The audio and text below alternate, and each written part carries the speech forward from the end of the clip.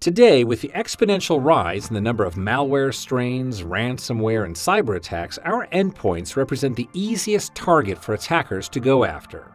Gartner research states that 44% of reference customers for EPP solutions have been successfully compromised. And the hard fact is that most breaches start with endpoints compromised by malware. Today, we'll take you through an overview of Comodo's advanced endpoint protection and show you how, with Comodo's True Default Deny platform, you can completely protect you and your organization from malware, ransomware, and cyber attack. Let's dive right in. From the start, AEP takes a holistic approach to security. You'll notice that we start off with Comodo's complete device management solution, IT and Security Manager, or ITSM. ITSM gives you a complete view of all of the devices in your organization and includes all the ways you'd expect to enroll devices and individuals. ITSM also allows you to control and manage the complete device from OS and application updates and patches to defining and pushing device and security configurations, allowing your administrators to have complete control over managed devices. And when it comes to mobile, additional functionality is available. You can define devices as BYOD, do a remote corporate wipe, send messages, reset passwords, and more. ITSM represents the pinnacle of functionality, and while managing all your endpoints provides increased insight into your organization's digital footprint, this is really just the beginning when it comes to advanced endpoint protection. Let's move to the endpoint now and talk about Comodo Client. While ITSM controls and manages your endpoints and helps keep them safe with policies and updates, Comodo Client actively protects your endpoint with multiple, tightly integrated layers of defense, giving your endpoints a true default deny security posture without any of the usability issues traditionally associated with default deny. In fact, with Comodo's True Default Deny platform, you get default allow productivity with default deny security. Let's take a look at how this actually works. You can see here there are controls for AV, firewall, virus scope, and auto containment, giving you the ability to control Comodo client settings. We're running on a real machine here, no VMs, but an honest to goodness Windows 10 machine. You're going to see Comodo's advanced endpoint protection in action. First, let's find some malware to play with. There are a couple of sites where researchers upload malware. Let's download a few of them and save them with a unique name.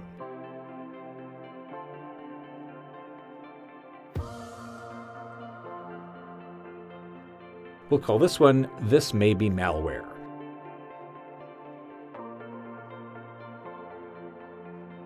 Let's download another.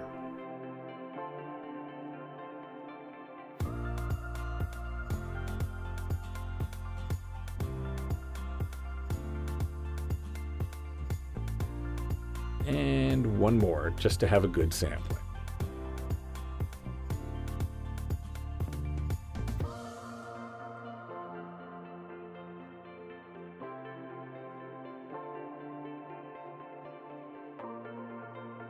Now we're going to run a few of these malware files and see what happens.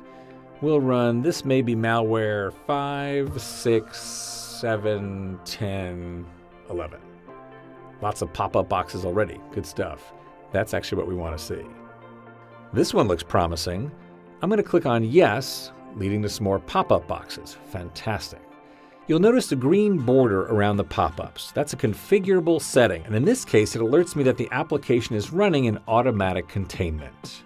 And let's talk about automatic containment for a moment. What's happening in the background is that Comodo Client, through its multiple interlocking layers of defense, determined that at least one of the applications I've run is unknown, meaning that it's not a known good or a known bad file. Unknown files are placed into automatic containment, represented here by the green border. Notice I'm using this application as I normally would. The only indicator I have that it's running in containment is the green border.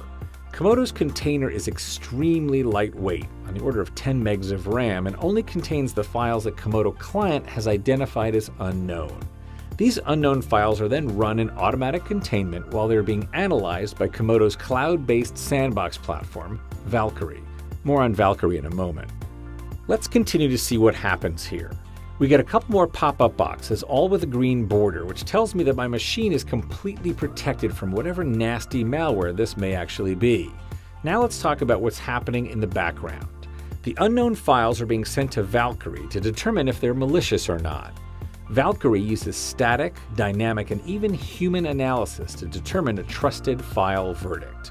Once this verdict is reached, that information is provided back to the client and to the entire Comodo network for that matter. We can take a look at Valkyrie and see what it's doing. You can see that this maybe malware 10.exe has made its way to Valkyrie and it's been determined that it is indeed malware. And going a bit deeper, we can see how Valkyrie's actually determined this.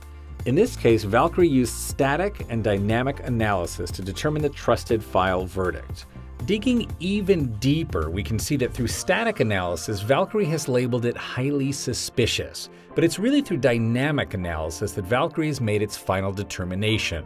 We see that this application logs user keystrokes, reads memory of another process, writes to the address space of another process, creates child processes, injects code to another process, and on and on and on it's pretty clear that this is actually a pretty nasty piece of malware. Going back to the endpoint, let's take a look at what we have running in containment. Through Comodo Client, we can see that there are several processes labeled Run Virtually, meaning that they are currently running in containment and therefore pose zero risk to the host system. And here's the fun part. In order to get rid of all this nasty malware, all I have to do is reset the container.